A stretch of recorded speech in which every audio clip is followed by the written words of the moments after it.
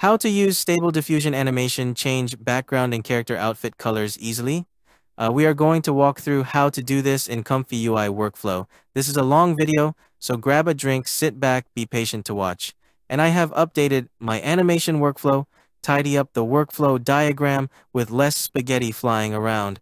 Thanks to some true AI friends here giving suggestion and feedback, together we keep improving better and better. So in this tutorial, I'm going to show the whole new layout design. And before that, we have to download this Comfy UI custom node.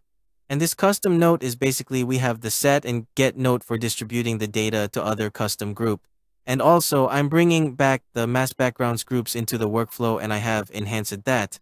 And also the IPA group, two for multiple emoji into one IP adapter encoding image for very unique styles that we have. And I have also created this kind of workflow in other workflow that upload in OpenArt previously, so you can check that out. Uh, that one is for text to image. So thank you for one of my AI friends, and he suggests us to have more modularity styles with the set and get custom notes here. And then this is the place for preview. So I leave this space empty and we have the LCM notes here. That is for if you want to use LCM, and then you will enable that. If you don't want it, just click bypass the can't. Right now, in this example, I'm using the LCM to just run a quick demo here. So this orange group is the base loader group. Basically, I am going to passing the model from this base. So I call this model from base. And right in this group, we are going to have the checkpoint loader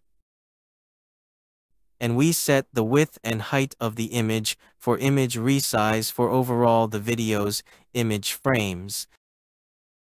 And then also we have the VAE loader that is optional. If you have VAE include in your checkpoint, then you don't have to use this. And this is the seed numbers. So let me arrange this a little better.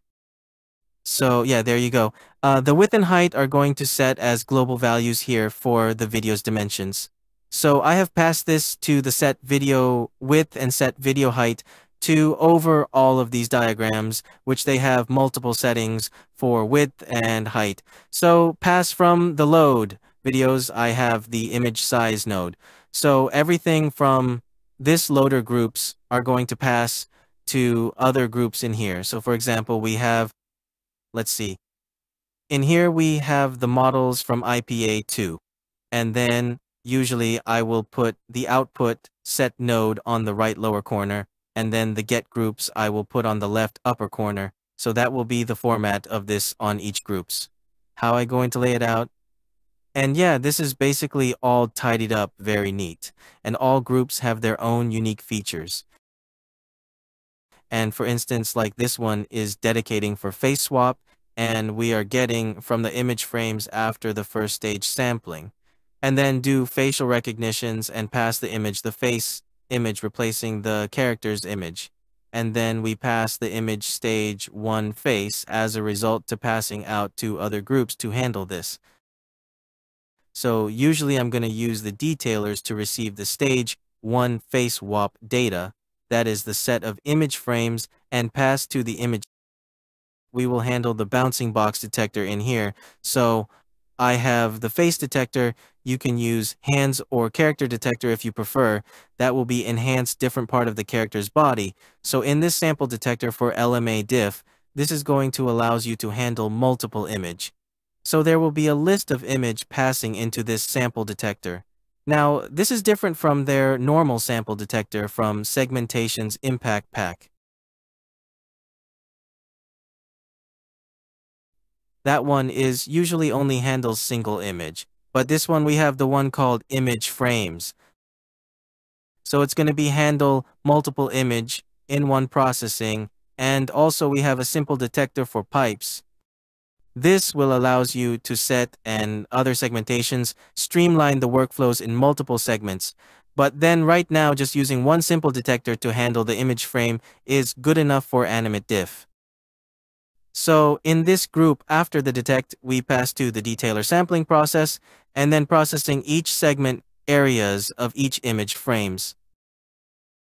Then after this, we are going to pass all the segments to the segment paste. So this segment paste is like the mouse copy and paste.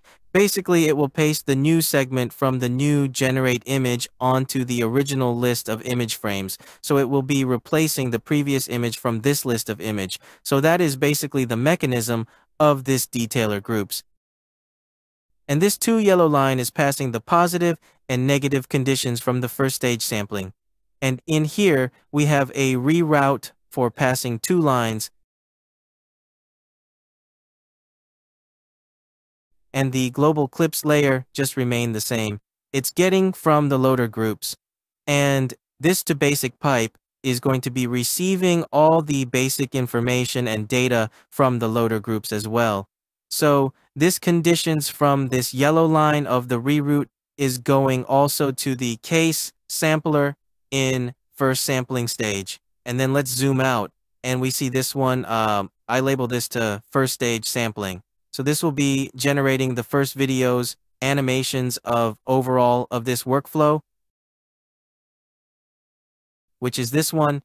As you can see, the face is not clear. It's kind of blurry. And if you want to enhance that, you will pass it to the detailers to enhance the face S. And then we set the clip layer. This is the notes that we are going to passing out to the global and then going through the LoRa notes here. And LoRa notes, we are using the LCM LoRa in here. So this yellow line will be the clips layer for that one. And then this is the negative prom and the green one is the positive proms. And then we are passing the conditions of positive and negative to the first control net, which is the realistic line art. Now this line art, we are getting the segment image mask group. That segment image mask is basically removing the backgrounds. It's only remaining the main characters from the videos, pass it all the image to here. And this applied control, net processing will be showing all the image frames. Process it in the line uh, art manner, and this is the preview output.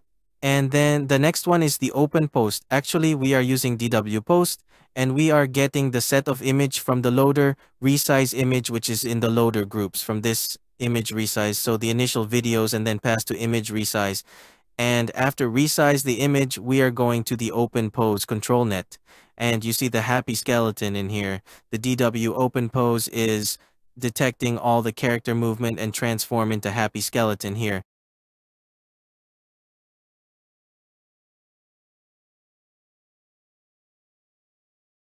So the positive negative keep continuing to the third control net. And this is optional control net. I have disabled this one bypass this control net at this demo, and you can enable this if you want to. It depends on the situations. You can change the type of control net in this last control net groups here because it very depends on what kind of videos you are going to generate. If you using this like my example, I have previously select candies. And if you want depth, to be more layer for your videos like cinematic videos, you can use that as well. So this is the third control net in this group. And uh, as you can see, the candies I have previously used, and maybe you can use other control net in here as well. And for SDXL, remember to select SDXL control net. And maybe like my last videos, I'm using the depth in here to have more layers feel for cinematic style videos. So this is basically the three control net. Just like how we used to run in automatic 11 or 11, we use three control net to have a better pose and image quality of the post. But basically, for the dance videos I usually do, I use line art and DW, open pose is good enough. And then the last one is going to be passing to the animate diff processing the motion in these animations and we have the animate diff loader, and above that, we have the get models. So in this one, I have just selected from IPA group 2. So I have defined the models from base model, from the IPA1, from IPA2, and also the face ID. So this is multiple model path, data path that you can select in this one back to the animate diff loader. And then the animate diff loader are going to output the set model uh, animate diff data and that will be optional to use. And in this group, lastly is the K sampler, and of course the K sampler. We need the VE encode and get image resize for all the image frames. And actually this is duplicate from the control net. So let me organize this one. We don't need the double get image resize notes in here, so we can use just one get image resize notes.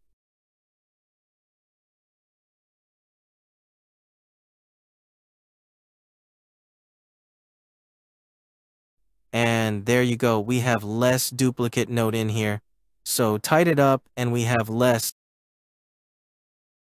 Okay, so the seed number, the seed number are going to be the global values of this workflow that I set in the loaders group. So here we pass all the models positive, negative, latent image, and seed number to the K sampler. So this is the first stage of the sampling process. After that, that will be passing to. So yeah, let's go back to the loaders group first. So this CRC will be setting the seed numbers here. So once you set these numbers in here, it will pass to this set seed numbers node.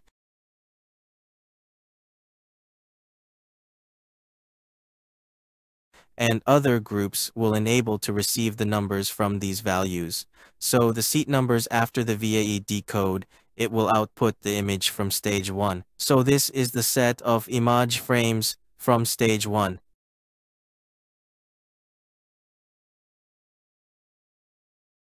After all this processing text prompt, 3 control net, and the K sampler. And here's the video combining all the image frames, and it will have the preview of the first stage of sampling videos.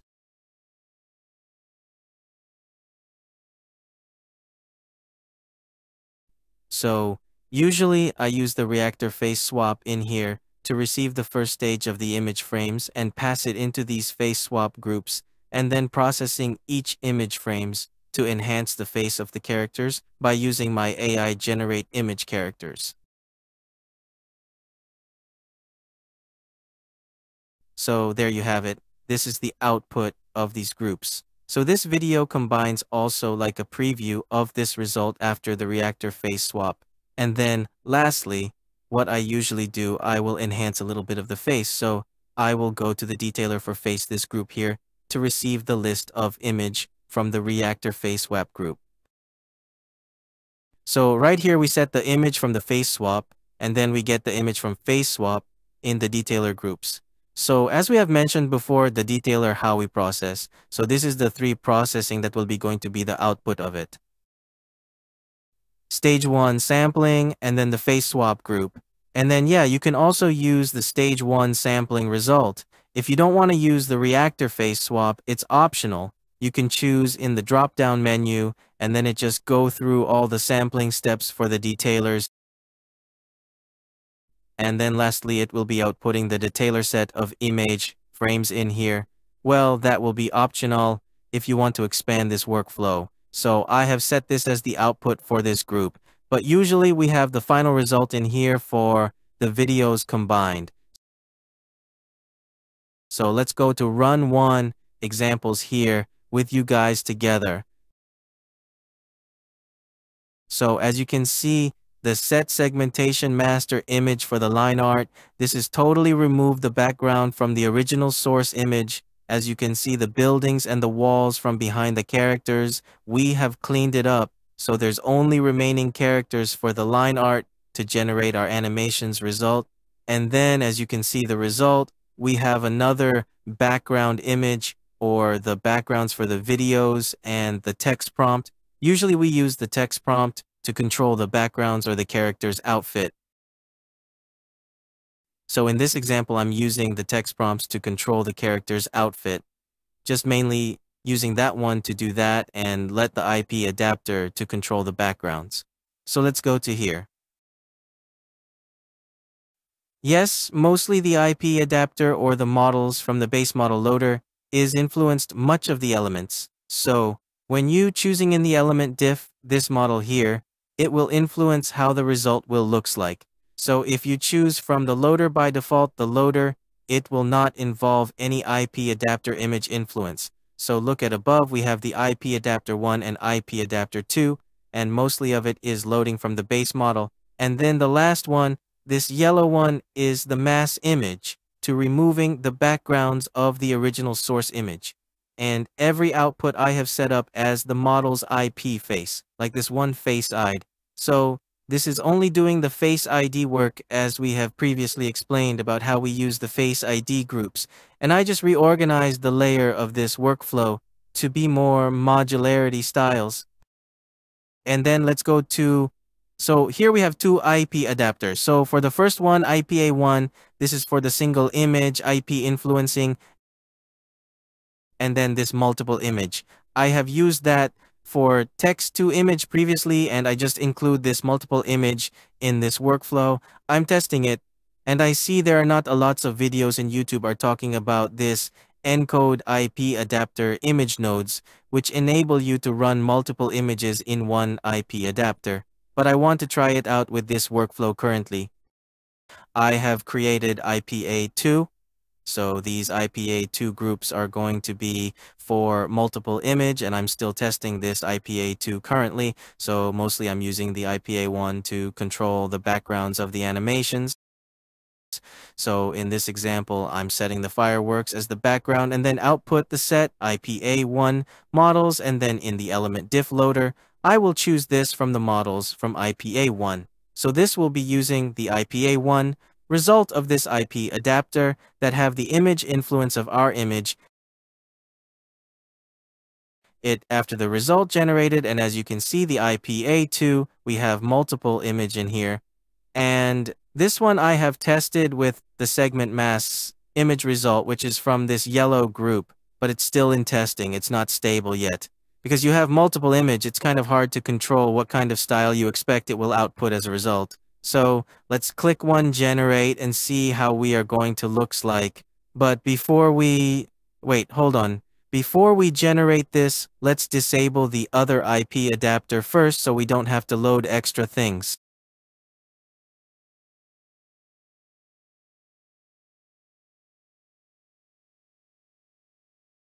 So our first demo here, we will use the IPA one. Okay, so the fireworks are going to be the backgrounds of our upcoming result. And let me also in the text prompt to emphasize the fireworks as well.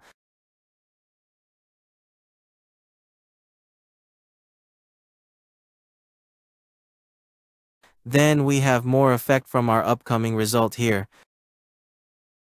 I will fast forward this one. So in the meanwhile, I have to explain this IPA1 and IPA2. When you use this, do not use double IP adapter. Like you don't want to confuse the AI to use both IPA groups together. That will be too much image prompts for one generate image. So yeah, if you use either one of this, you want to disable the other IP adapters group and also the face ID groups as well.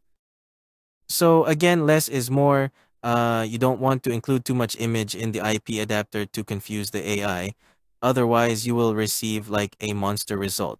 So we have the first sampling result here. So let's bring it side by side with the IP adapter one.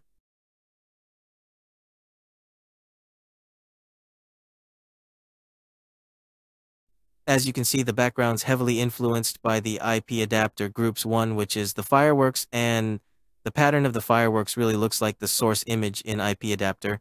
You see the yellow fireworks on the upper corner, and then the purple color on the lower side. And let's side by side with the source videos. And look at that. It's totally changed. The outfit of it is also changed. And I like this reflection on the floor in here. It looks like a mirror and reflecting the fireworks from the sky. Pretty good result this time actually using LCM and then we can get this kind of result is pretty good.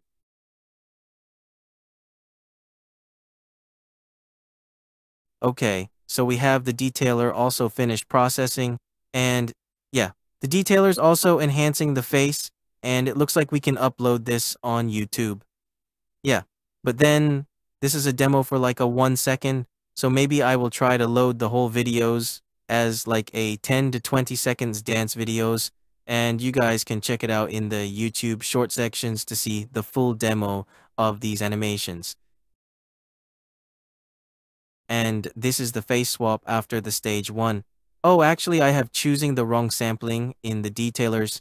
I should use the LCM as well and the LCM scheduler. Also, I select the wrong one. Okay, next time let's try another example to have a correct sampling method and also let's try one demo that we don't use any IP adapter. Okay, we got to disable all the IP adapter here and then we go to only using the remove backgrounds and in the text prompt just only controlled by the text prompt here. Let's say the dancer's dancing on the street, right? and then travel prompts. Basically, I don't need to do too much. Let's try. If the flower is dropping, maybe that will work. Uh, but sometimes some prompts are going to be ignored by the AI. So you might need to test again or twist the text prompt a little. But yeah, hopefully they have some effect from one of these travel prompts.